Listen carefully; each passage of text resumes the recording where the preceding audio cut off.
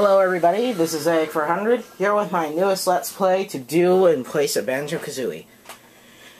Um, as some of you who actually watch my channel may know, um, a Pokemon has won the, uh, the votes for being my starter Pokemon in Pokemon Black.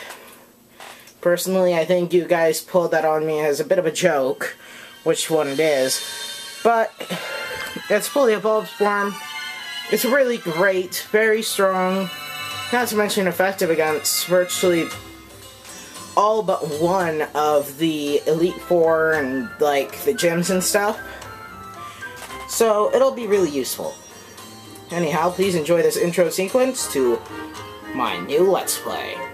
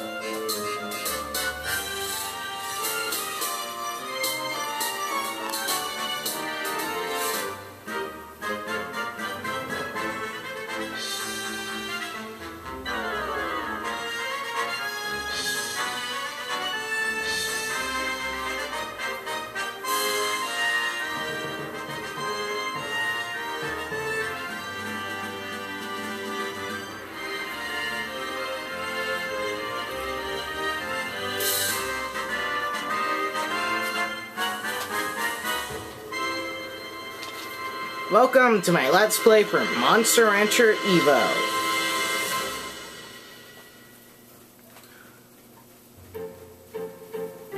I'm sorry about all the screen glitches. Um, it's a...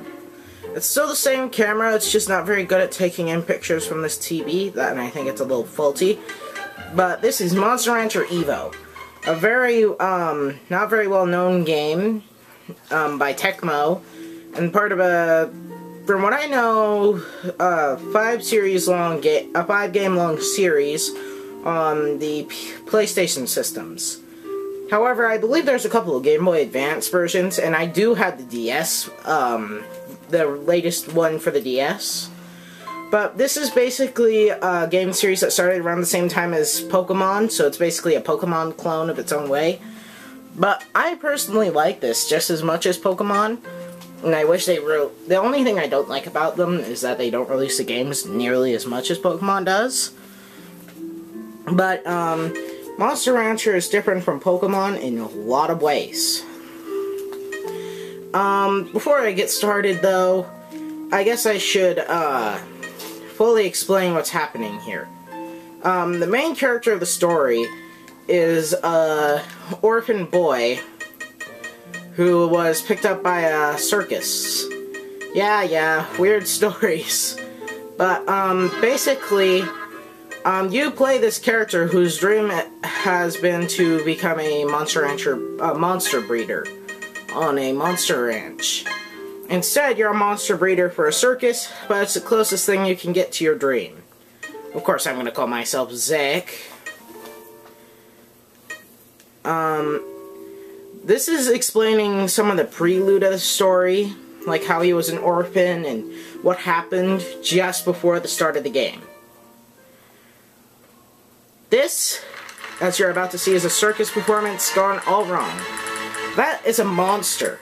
Basically, the creatures you raise in this game, there are many types. That is a fan favorite, pretty much representative of the series like Pikachu. It's uh, Mocchi.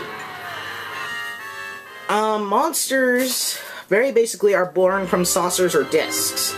Basically translated, you put a DVD or PS2 game, no Blu-ray, into the PS2 system, and it will make a monster based on that disc. Um, it very much varies, and the monsters that come out are extremely random. I mean, a disc will give you the same monster over and over, which is a great consistency, but you know what? I think I'm going to be quiet for the cutscenes. Sorry.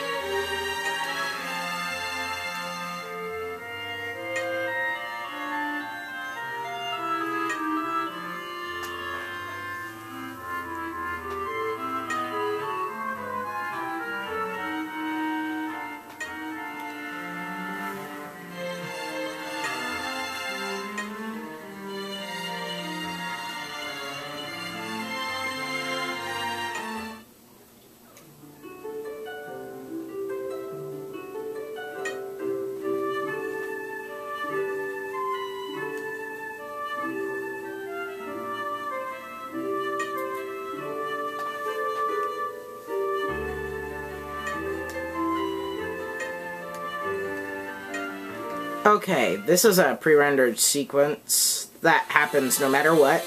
And you always get the same monster. Um, this girl, Nayuta, is basically a very important character. What she does is she takes DVDs or um, PS2 games or even music CDs that you put into your PS2 and makes them into monsters based on what's on the disc. However, it will automatically, no matter what, create a Pororo very much the um, new monster actually introduced in this um, file. This is this type of monster is known as a purebred. A purebred monster has a main species of one and the same subspecies as the main. It's possible to get subspecies by combining monsters once they've reached the end of their life cycle. One thing I do like about this game is that Pokemon...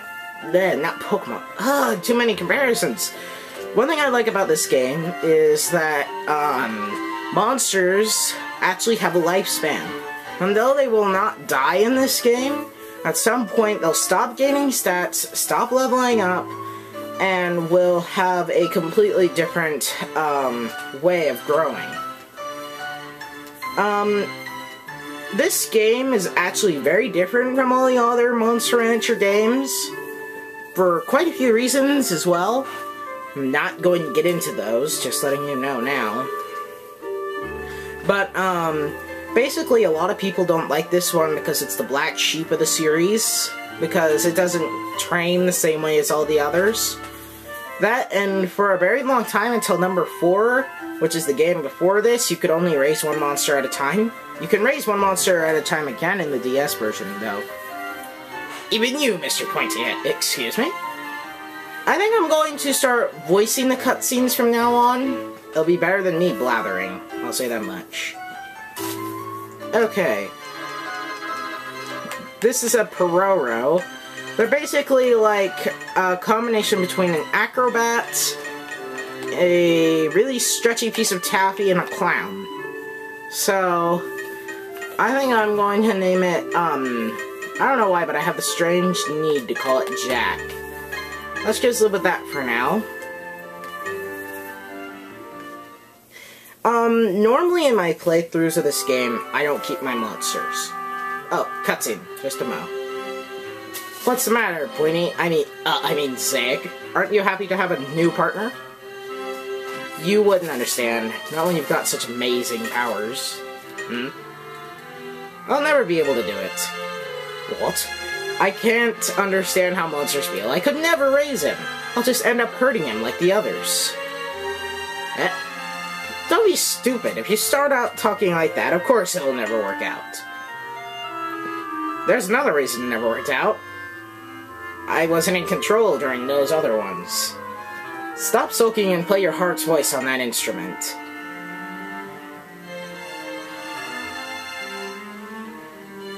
My heart's voice?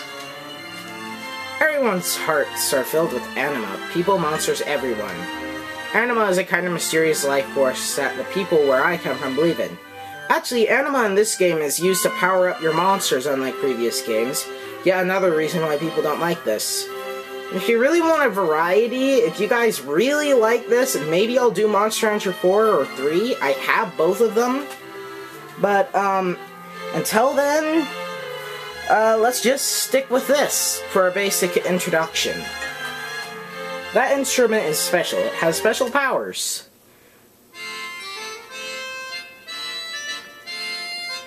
God, I love that song. Or just the accordion in general. What have you got to lose? Just try and use it to communicate your anima. I almost said animal there. Aha! Jack seems to like it. What feeling did you send to him? Wow, did we automatically assume he's a dude? I thought monsters didn't have genders. Well, I just thought hard... I just thought how I wanted to work hard with him. He's a dude? Well, I guess the name says it all, but monsters aren't supposed to have genders. Oh well. You win some, you lose some. Alright, for this first video, I'm going to show the basics of raising a monster as we finally get in the first gameplay section. Today, Orko's, Orkoro's Circus will once again be starting from square one. Just for Jack's sake, let's run through the circus practices one more time. Okay, basically how you train monsters is very simple. For now we only have, we don't have access to anything called training gadgets.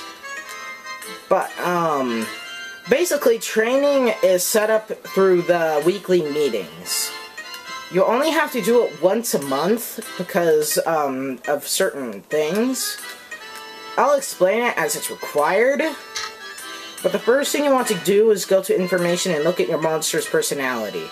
Mine is relaxed. Relaxed monsters like to have a po uh, um, policy that's better for them. Relaxed monsters like this prefer easier training. I like to go full lenient because that gets you the full effect. Um, Right now, there are no gadgets, but if you had a gadget, you could set them up with one. Gadgets are basically um, show tricks that they perform in a show, which is how they gain their stats.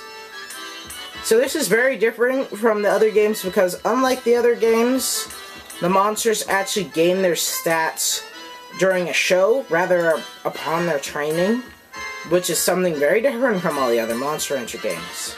Even so, I don't care. I like this game. Now, right off the bat, we get a mini quest from Marlene. Um, the item she asks for is random. It's just a level 1 item of some sort. In this case, she's asking me to get cake. Of course, she'll give you 500 gold to pay for it. Why we're exchanging so much gold for cake, I'll never know.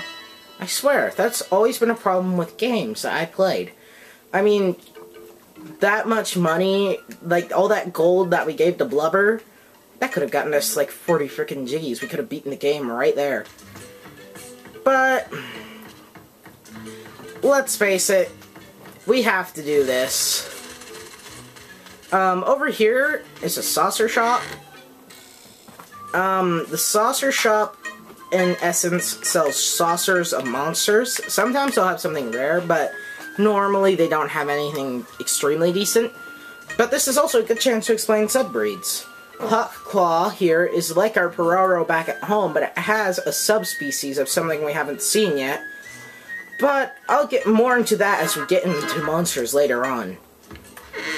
Um, I think that I'll show you where the store is real quick, and then I'll cut to delivering the cake. So this is the store, and you can get anything you want here, at least at level 1. Oh shoot, is that my time? Um, I don't think I'm actually going to have enough time to cut this. So I'm going to have to end this video up here.